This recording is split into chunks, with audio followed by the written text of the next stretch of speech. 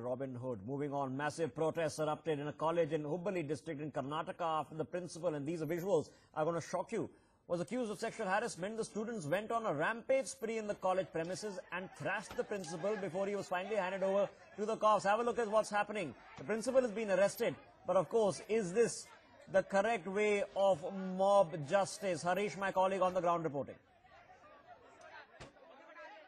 There was utter chaos and outrage at the BVB college belonging to the KLE group of institutions in Hubli. This after students went on a rampage alleging that their principal Anand Vadin had sexually harassed 13 girls during an industrial exposure trip to Goa. Now a complaint has been registered at the Vidyanagar police station and the cops are trying to gather more details and see if these allegations are true and what are the other charges that can be booked against this principal. With camera person Harish, Harish Upadhyaya, News X, Bengaluru.